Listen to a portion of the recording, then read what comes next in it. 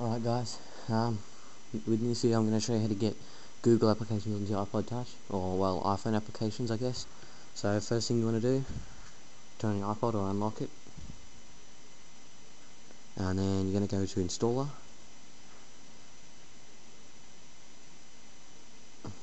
And you're going to go to edit and add. And you're going to add this, you're going to add R-E-P-O dot U-S dot T O. You see that? In case you can't see that, I'll put it on about the video, so you know.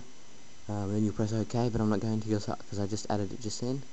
And you'll go to install, and you should see it should say iPhone 1.1.1 apps for uh, iPod Touch and 1.2 apps for iPod Touch.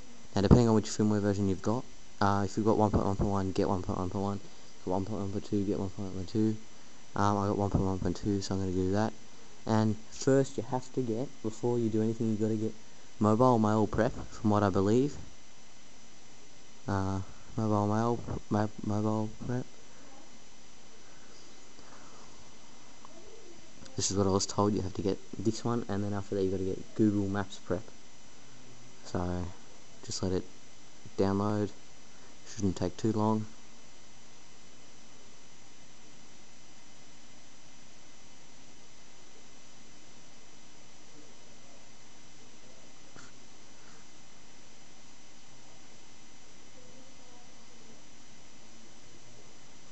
and then you back down and you go 1.1.2 and you go Google Maps Prep which is right here.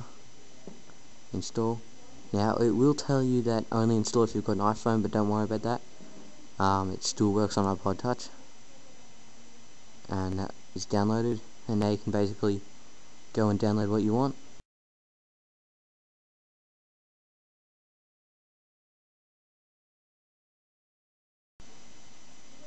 Um, what I down I download the weather, the stocks because I can, and then the uh, maps. So yeah.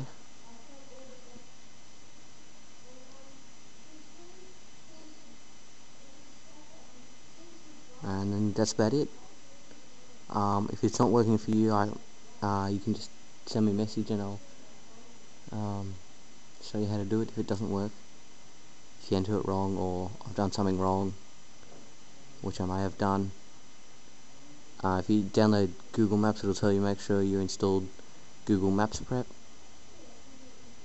So you've got to do you've got to install Maps Prep and Mail Prep before you do anything else.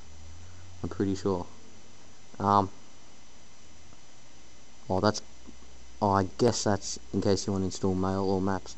If you don't want to, then I don't think you've got to install them. So yeah. Um. That's about it. Got any questions, ask me. Uh, should be bringing out another video soon, very shortly. Um, so yeah, thanks for watching.